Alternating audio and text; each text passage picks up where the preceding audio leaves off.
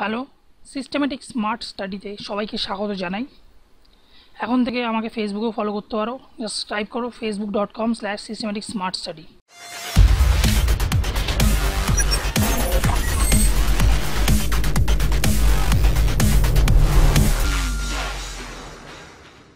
আজকে যেটি বলেছি হচ্ছে এম এস পাওয়ার পয়েন্ট সম্বন্ধে বলব। আজকে ইন্ট্রোডাকশনটা জাস্ট দেবো। এম এস পাওয়ার পয়েন্ট জিনিসটা কি? এম এস পাওয়ার পয়েন্ট হচ্ছে একখানা প্রেজেন্টেশন সফটওয়্যার আমরা বিভিন্ন অফিস কাছারি বা কাউকে যদি কিছু বোঝানোর জন্য, এমনকি এডুকেশন সেক্টরে বা প্রজেক্ট রেডিতে আমরা এম এস পাওয়ার পয়েন্ট টুলটাকে ইউজ করি বা সফটওয়্যারটাকে ইউজ করি আমাদের কোনো প্রজেক্ট বা কোনো কিছু প্রেজেন্টেশন দেখানোর জন্য। তো আজকে এইটার জাস্ট এটা আমি খুললেই এরকম একটা অপশান আসবে মানে এরকম একটা ডায়লগ বক্স জাস্ট খুলবে, এরকম একখানা খোলার পর আমি এখান থেকে এরকম চুজ করতে পারব। ফিচার পার্সোনাল এখানে আমার যদি কোনো কিছু লাগে পার্সোনালি আমার যেগুলো রেডি করা আছে, আর এখানে ফিচার যেটা অলরেডি অটোমেটিক্যালি টিমপ্লেট করা আছে, আমি কোনটার উপর চাইছি সেই অনুযায়ী আমাকে এখানে চুজ করতে পারব। তো এখান থেকে আমি ব্ল্যাঙ্ক প্রেজেন্টেশনটাই নেব, যেহেতু প্রথম থেকে যেহেতু সব দেখাতে হবে, ঠিক আছে? তো আমাদের এখানে জাস্ট ব্ল্যাঙ্ক প্রেজেন্টেশনটা নিলাম। তো ব্ল্যাঙ্ক প্রেজেন্টেশনে দেখলাম যে এইখানে ব্ল্যাঙ্ক প্রেজেন্টেশন আছে, এবার আমরা এখানে কোনো কিছু লেখার ক্ষেত্রে ইউজ করতে পারব। টাইটেল আর এখানে সাব টাইটেল ঠিক আছে? এই বিষয়ে আমরা অনেক কিছু বিস্তারিত তথ্যে আসব, যদিও তার আগে এই জিনিসগুলো আমি এখানে পরিচয় করে দিই হোম বাটনে কী কী আছে, না আছে। হোম বাটনে একই অনেকটা ওয়ার্ডের মতনই, আমরা ওয়ার্ড যদি করে থাকি, ওয়ার্ডের মতনই অনেকটি অপশান থাকবে। জিনিসটা চুজ করে, বা কেমন কী চাইছি। নিউ স্লাইডের ক্ষেত্রে আমরা এখান থেকে ধরুন এটার সাথে এই একটা স্লাইড আছে, আর একটা স্লাইড যোগ করতে পারি। হয় এটা করতে পারি, কিংবা আমাদের একটা অপশান আছে, যেটা আমি এখানে লিখে দিচ্ছি।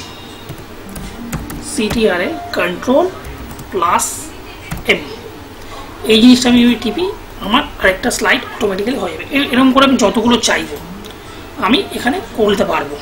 ঠিক আছে? তো এইটা আমার হয়ে গেল টাইটেল এটা হয়ে গেল আমার বডি বা সাব টাইটেল যাই হোক, জিনিসটা।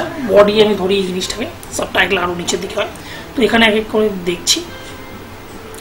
তো নিউ স্লাইডে এটা গেলাম লেআউট কোন লেআউটে কি হবে? আমি কেমন কি স্লাইড চাইছি স্লাইডের ধরনগুলো এখানে করে আছে, আমি সেই আমি চুজ করতে পারব। তো লেআউটের পর রিসেট রিসেট যদি আবার নতুন করে শুরু করি রিসেট পজিশন আবার সেই আগার জায়গায় রিসেটের জায়গায় চলে যাবে। সেকশন সেকশন থেকে আমি কোনো সেকশন বা কোনো কিছু অ্যাড করতে চাইলে বা কিছু করতে চাইলে, সেই সেকশনটাই খুলে যাবে। তারপরে এবার যেটা দেখাবো, সেটা হচ্ছে আমার স্টাইল এই আমি একটা জিনিস লিখেছি।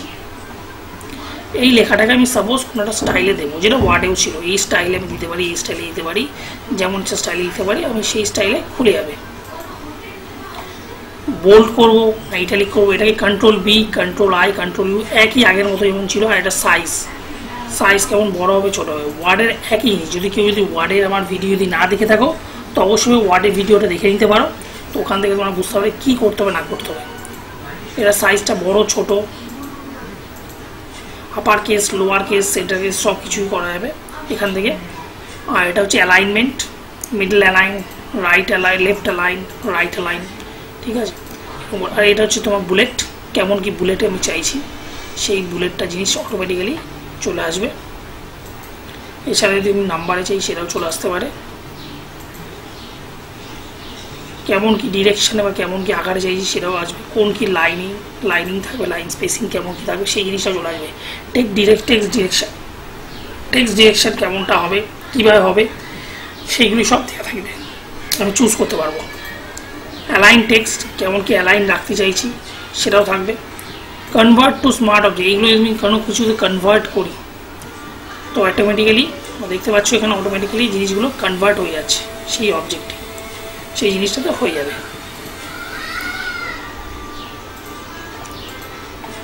তো এখানে আমি আর কিছু লাইন ড্র সাপোজ আমি কিছু লাইন ড্র করতে এখানে first text draw text draw করতে হলে টেক্সট যেমন লিখতে হয়, তারপর লাইন ড্রয়ের ক্ষেত্রে লাইন কিছু যদি টানতে হয় লাইনটাকে ইউজ করতে পারি। এরকম যদি কোনো একদম আমি লাইন ড্রটা করতে পারি বা এখানে দিয়ে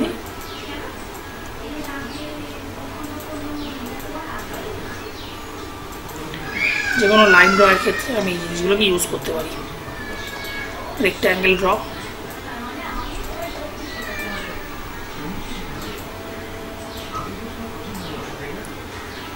এই টাইপের আমি ইউজ করতে পারি এবং এগুলোর আমি বিভিন্ন রকম শেপ ফিল কালার বিভিন্ন রকম দিতে পারি। শেপ আউটলাইন শেপ আউটলাইন যদি কিছু থাকে, সেটা আমি চুজ করতে পারব। যে আউটলাইন যদি কোনো থাকে নো আউটলাইন এটার করে আমি সিলেক্ট করতে পারি। শেপ এফেক্ট কেমন কি এফেক্টে দেবো? সেই জিনিসটা চুজ করতে পারি, সেই জিনিসের এফেক্টে চলে আসবে কেমন, কি এফেক্ট দিতে চাইছে না সেইগুলো চলে আসবে। এখান থেকে ফাইনাল রিপ্লেস কোনো কিছু, ধরুন ডকুমেন্ট আছে বা কিছু আছে, সেটাকে আমি খুঁজবি, খুঁজছি বা দিচ্ছি, খুঁজতে চাইছি বা দিতে চাইছি, বা আমি সহজে ওটা বার করতে চাইছি, সেটা করতে করতে পারি ফাইন থেকে। এখানে সিলেক্ট করেই, কিছু লিখে ফাইন নেক্সট করে জিনিসটা বেরিয়ে যাবে। নেক্সট হচ্ছে রিপ্লেস রিপ্লেস বাটনে কোনো কিছু ওয়ার্ড আছে, সেই ওয়ার্ডটাকে আমি চেঞ্জ করে অন্য কিছুতে রিপ্লেস করতে চাই ফাইন নেক্সট করে আমি রিপ্লেস করে দিতে পারব। সিলেক্ট কোনো কিছু সিলেক্ট করে সেটিকে এডিটিং প্যানেল আমরা যেটাকে বলছি, এই এডিটিং প্যানেলটাকে আমি ইউজ করে আমরা বিভিন্ন কাজ করতে পারব। এটা আমরা বেসিক্যালি বললাম হোম বাটনের যা যা ফিচার্স আছে সেইগুলি প্লাস ইন্ট্রোডাকশান নিয়েও আমি দুদিকেই বলে দিলাম। তো আশা করি তোমাদের বুঝতে কোনো অসুবিধা হবে না। এবং তোমরা এইটির মাধ্যমে অনেক কিছু করতে পারবে। কারোর যদি কোনো প্রশ্ন থাকে আমাকে করতে পারো, আমি অবশ্যই তোমায় বলব। থ্যাংকস ভিডিওটিকে দেখার জন্য। তো এই পর্যন্তই ছিল ভিডিওটি। যদি ভিডিওটি ভালো লেগে থাকে লাইক করো সাবস্ক্রাইব করো, এবং শেয়ার করো নিজের বন্ধু বান্ধবীদের সাথে এবং নিজের আত্মীয়দের সাথে, যাতে ভিডিও দিয়ে দেখে অনেকের সাহায্য হয়। ধন্যবাদ ভিডিওটিকে দেখার জন্য।